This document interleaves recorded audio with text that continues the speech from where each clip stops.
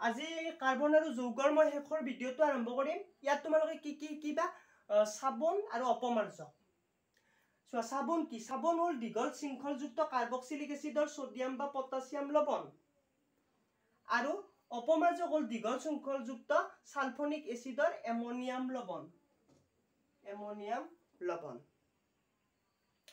এতিয়া চোৱা আমি ব্যৱহাৰ কৰা পানী যেনে আমি কাপোৰ ধুবলৈ যি দমকল কুঁৱা আদিৰ পানী ব্যৱহাৰ কৰোঁ তাত আমি দুবিধ পানী পাওঁ। এটা হ'ল কঠিন পানী আনটো হ'ল কোমল পানী। আনটো হ'ল কি? কোমল পানী।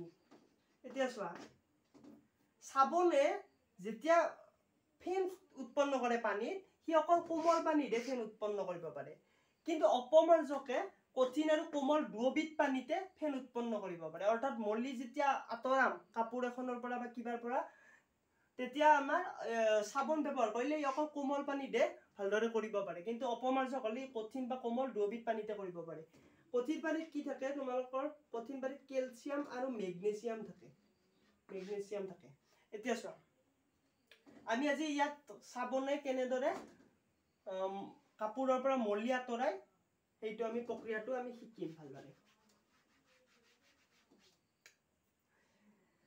ইয়াত কি দিছে?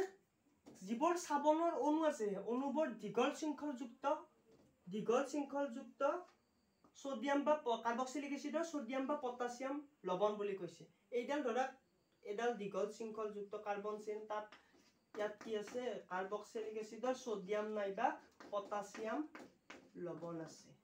পটাছিয়াম লৱণ এইটো এটা চাবোনৰ অণু। এই অণুটোত এইবোৰ কাৰ্বন দে ইয়াত কাৰ্বন আছে এই শেষত ইয়াত কাৰ্বন থাকিব। ইয়াত ইয়াৰ এই অণুটোৰ দুটা মেৰু থাকে এইটো এটা মেৰু এইটো এটা মেৰু। এইডাল যদি দীঘল এডাল চিন হয় তেতিয়াহ'লে ইয়াৰ দুটা মেৰু নাথাকিব। ইয়াত এইটো মেৰু আৰু এইটো মেৰু এই দুটা মেৰু সম্পূৰ্ণ বিপৰীত। এইটো মেৰুক আমি কি বুলি কওঁ? ইয়াক ধ্ৰুৱীয় মেৰু বুলি কওঁ। ধ্ৰুৱীয় মেৰু। নাইবা আৰু এটা নাম আছে আয়নীয় মেৰু বুলিও কওঁ। আয়নীয় মেৰু ধ্ৰুৱীয় মেৰু আয়নীয় মেৰু। নাইবা জলস্নেহী জল স্নেহী। জলস্নেহী নাইবা জলকৰ্ষী মেৰু বুলিও কওঁ। জলকৰ্ষী মেৰু বুলিও কওঁ। এতিয়া চোৱা। আৰু এইটো মেৰুক কি কওঁ? এইফালে কাৰ্বন থাকে এইটো মেৰুক আমি কওঁ জলঘৃণী মেৰু। আৰু অনাথ ধ্ৰুৱীয় মেৰু বুলিও কওঁ নাইবা অনাথ ধ্ৰুৱীয় মেৰু। এতিয়া চোৱা চাবোনৰ অণুৰ এই মেৰুটোৱে পানীৰ সৈতে দ্ৰৱীভূত হয়। এই মেৰুটো পানীত দ্ৰৱীভূত হয়। পানীত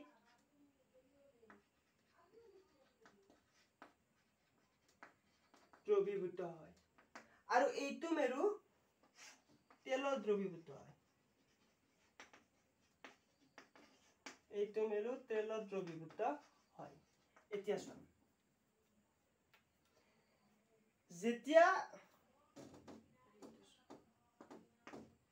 যেতিয়া পানীত ধৰি লোৱা কাপোৰ এখনত মলিবোৰ আছে সেই মলিবোৰৰ আমি এইটো মনত ৰাখিবা দেই এই মলিবোৰৰ মলিবোৰ সদায় তেলযুক্ত তেলযুক্ত। অৰ্থাৎ এইবোৰ একোটা তেলৰ টোপাল বুলিয়ে ধৰিব পাৰে। এই মলিবোৰ তেলৰ টোপাল বেছিভাগ মলিয়ে তেলৰ টোপাল। এতিয়া চোৱা এই মলিবোৰ যেতিয়া কাপোৰত লাগি থাকে আমি পানীত দিলোঁ আৰু তাত চাবোন দি দিলোঁ। তেতিয়া কি হ'ব? এই চাবোনৰ এইটো অণু এই অণুটোৰ এইটো মেৰু আৰু এইটো মেৰু কি কৰিব? ইয়াৰ যিটো জলক ঘৃণী মেৰু আছে এই জলক ঘৃণী মেৰুটোৱে চাবোনৰ চৰি মল অৰ্থাৎ মলিটোৰ যিটো তেল তেলীয়া মলি আছে তেলযুক্ত মলি তাত লাগি ধৰিব অৰ্থাৎ তাত দ্ৰৱীভূত হ'ব। আৰু যিটো ধ্ৰুৱীয় মেৰু আছে সেই মেৰুটো তাৰ বাহিৰৰ ফালে থাকিব। পানীত যিটো এইখন কাপোৰ ধৰা ইয়াত ধৰা মলিটো আছে। মলিটোত তাৰ যিটো জলক ঘৃণী মেৰু আছে জলক ঘৃণী মেৰুটো লাগি ধৰিব কাৰ্বন শৃংখলডালৰ অৰ্থাৎ চাবোনৰ অণুডালৰ আৰু যিটো ধ্ৰুৱীয় মেৰু আছে সি বাহিৰৰ ফালে থাকিব। যেতিয়া বহুত বহুবোৰ কাৰ্বন শৃংখল এইবোৰ কাৰ্বন শৃংখল আটাইবোৰ কাৰ্বন শৃংখল ইয়ে ইয়ে তোমাৰ মলিটোত এনেকুৱা এটা চিত্ৰ কৰিব। এই চিত্ৰটোক আমি মাইচিলি বুলি কওঁ। মাইচেলি কৰাৰ ফলত কি হ'ব? যেতিয়া এইবোৰ পানী আছে এই যিটো ছডিয়াম থকা অৰ্থাৎ ধ্ৰুৱীয় মেৰু আছে আয়নীয় মেৰু আছে ইয়াত আটাইবোৰ ছডিয়াম থাকিব নাইবা পটাছিয়াম থাকিব? ঠিক আছে। পটাছিয়াম থাকিব। পটাছিয়াম থাকিব। এই পটাছিয়াম নাইবা ছডিয়াম থকা এই মেৰু বোলে ই পানীৰ সৈতে দ্ৰৱীভূত। যেতিয়া ই পানীৰ সৈতে দ্ৰৱীভূত হ'ব এইবোৰ পানীয়ে এই এই মেৰুটোক পানীয়ে নিজৰ ফালে টানিব অৰ্থাৎ কাৰ্বন শৃংখলডাল টনা যাব। যেতিয়া কাৰ্বন শৃংখলডাল টনা যাব ইয়াত আনটো মূৰত কি লাগি আছে? মলিটো লাগি আছিল গতিকে মলিটোও তাৰ পৰা কাপোৰৰ পৰা ওলাই আহিব। অৰ্থাৎ এই মলিটো পানীত দ্ৰৱীভূত হৈ যাব। যেতিয়া পানীত দ্ৰৱীভূত হৈ যাব তেতিয়া সেই কাপোৰখন তাৰ পৰা কাপোৰত যি মলিটো লাগিছিল তাৰ পৰা মলিটো পানীলৈ আহি যাব অৰ্থাৎ কাপোৰখন চাফা হৈ যাব। এতিয়া চোৱা এইটো হ'ল ইয়াৰ প্ৰক্ৰিয়া। তোমালোকক মই বুজাই দিছোঁ। এইটো ধৰা পৰীক্ষাত আহিল তোমালোকে কি লিখিবা? প্ৰথমতে এইটো কথা মনত ৰাখিবা দেই এই চাবোনে সদায় কোমল পানীতহে এই মাইচেলি উৎপন্ন কৰিব পাৰে। কিন্তু অপমাৰ্জকে কোমল আৰু কঠিন দুবিধ পানীতে মাইচেলি উৎপন্ন কৰিব পাৰে।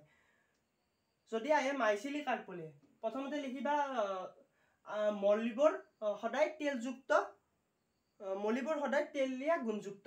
আৰু চাবোনৰ অনুবোৰ হ'ল দীঘল শৃংখলযুক্ত কাৰ্বক্সিলিক এচিডৰ ছডিয়াম বা পটাছিয়াম লৱণ আৰু এই ছডিয়াম চাবোনৰ অনুবোৰৰ দুটা মেৰু থাকে। এটা মেৰু হ'ল ধ্ৰুৱীয় মেৰু নাইবা আয়নীয় মেৰু। আৰু আনটো মেৰু হ'ল জলাঘৃণী বা অনাধ্ৰুৱীয় মেৰু। এইটো এইটো তেলৰ টোপাল।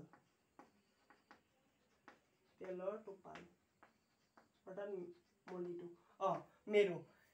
এনেদৰে চাবোনৰ অণুৱে পানীত যি সমস্যাই সৃষ্টি কৰে তাক মাইচেলি বুলি কোৱা হয়। ঠিক আছে? মাইচেলি বুলি। এইখিনি লিখিলা মাইচেলিৰ সূত্ৰটো ইয়ালৈকে হ'ল। কাষত ছবিটো আঁকি দিবা। তাৰপিছত লিখিবা অণুৰ যিটো ধ্ৰুৱীয় বা আয়নীয় মেৰু আছে সেই মেৰুটো পানীৰ সৈতে দ্ৰৱীভূত হয়। আৰু আন যিটো জলাকৃণী বা অনাধ্ৰুৱীয় মেৰু আছে ই সদায় মলযুক্ত তেলীয়া মল বা তেলত দ্ৰৱীভূত হয় বুলি লিখিলে হ'ব তেলত দ্ৰৱীভূত হয়। এনেদৰে চাবোনৰ অণু এনেদৰে চাবোনৰ অণুৱে পানীত ইমালচনৰ সৃষ্টি কৰে। ঠিক আছে? এনেদৰে চাবোনৰ অণুৱে পানীত ইমালচনৰ সৃষ্টি কৰে। আৰু এই প্ৰক্ৰিয়াৰ সহায়ত চাবোনৰ অণুৱে কাপোৰত লাগি থকা মলিবোৰ পানীত দ্ৰৱীভূত হোৱাত সহায় কৰে। তাৰ ফলত কাপোৰখন কাপোৰখনৰ পৰা মলিবোৰ আঁতৰি যায়। ঠিক আছে? এইটো তোমালোকক মই কৈ দিলোঁ কিতাপত আছে পঢ়ি চাবা খালি মই বুজি বুজাই দিলোঁ। ইয়াত প্ৰথম মনত ৰাখিবা মাইচেলিৰ চিত্ৰটো মনত ৰাখিব লাগিব তোমালোকে। আৰু মাইচেলিটো কেনেকৈ কাম কৰি বুজি পালে? যে মলিবোৰত যেতিয়া কাৰ্বন শৃংখলবোৰ এইটো মূৰত পানীত দ্ৰৱীভূত অৰ্থাৎ পানীয়ে ইয়াক টানি থাকে। টানি থাকিলে এই কাৰ্বন শৃংখলডালত টান খাই যায়। টান খাই গ'লে কি হ'ব? এইটো মূৰততো মলিবোৰ লাগি আছিল। গতিকে মলিবোৰো কাপোৰখনত যি এইটো মলি কাপোৰখনত আছিল। অৰ্থাৎ মলিটো তাৰ পৰা ওলাই আহিব অৰ্থাৎ এইখিনি চব পানী আছিল নে সেই পানীটোত মলিটো আহি গ'ল অৰ্থাৎ কাপোৰখন চাফা হৈ গ'ল। তো ঠিক আছে ইয়াত মই কাৰ্বন আৰু তাৰ যৌগটো শেষ কৰিলোঁ। বাকী তোমালোকে এইখিনি শিকিবা আৰু কিতাপত তোমালোকে মই কিতাপৰ মতে পঢ়াই আছোঁ কিতাপত গোটেইখিনি আছে মই খালি এইটো তোমালোকক লিখি সহজ কৰি দিছোঁ। আৰু এইটো কথা মনত ৰাখিবা চাবোনে সদায় কোমল পানী দে মাইচেলি উৎপন্ন কৰিব পাৰে কিন্তু অপমাৰ্জকে কোমল আৰু কঠিন দুয়োটা পানীতে তোমাৰ কাম কৰিব পাৰে অৰ্থাৎ মাইচেলি উৎপন্ন কৰিব পাৰে। ধন্যবাদ।